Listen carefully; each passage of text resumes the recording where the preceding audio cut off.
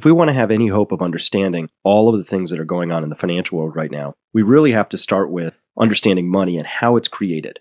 So here we're going to explore the process by which money is created. Let me introduce you to John Kenneth Galbraith. He taught at Harvard University for many years and was active in politics, serving in the administrations of Franklin Roosevelt, Harry Truman, John F. Kennedy, Lyndon Johnson. He was one of a few two time recipients of the Presidential Medal of Freedom. Clearly a pretty accomplished and stand up kind of guy. Now, about money, he famously said, The process by which money is created is so simple that the mind is repelled. We're about to discuss that very thing. If you don't get this segment the first pass, don't worry because money creation is a truly bizarre thing to ponder, let alone accept.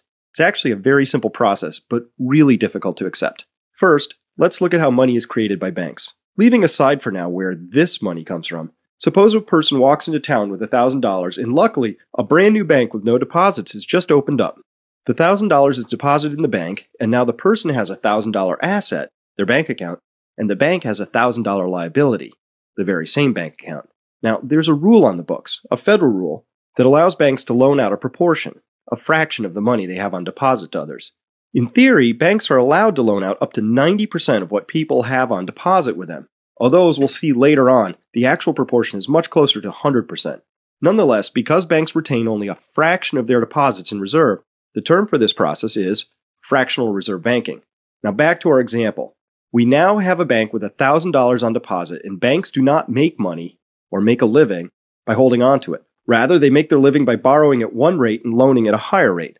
Since any bank can loan out up to 90% of what they have on deposit, in our example, our bank wants to find somebody who wants to borrow $900.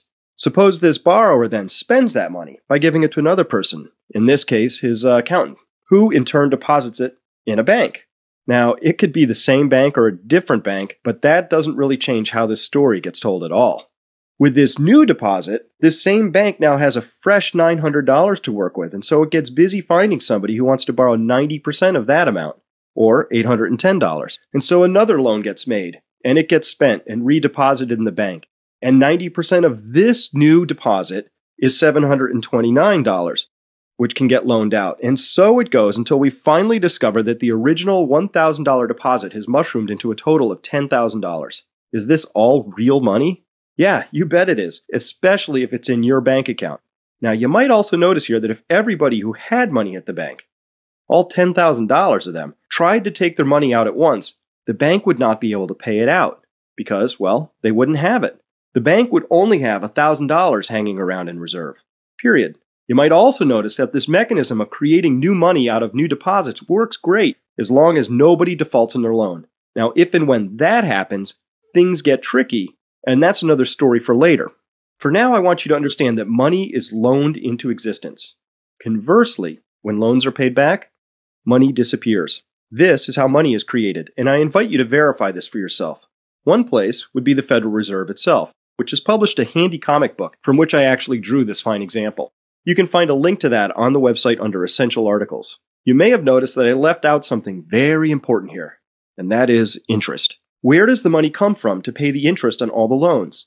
If all the loans are paid back without interest, we can undo this entire string of transactions in this example. But when we factor in interest, we'd suddenly discover that there isn't enough money here in this example to pay back all the loans. Clearly, that's a big hole in the story, and so we'll need to find out where that comes from. In doing so, we'll also clear up the mystery of where the original $1,000 came from.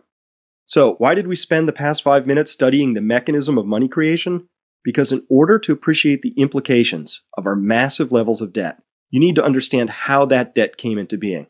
That's one reason. And the more important reason is tied to all those exponential graphs we viewed earlier in section 3, but we're not quite there yet. Let's continue.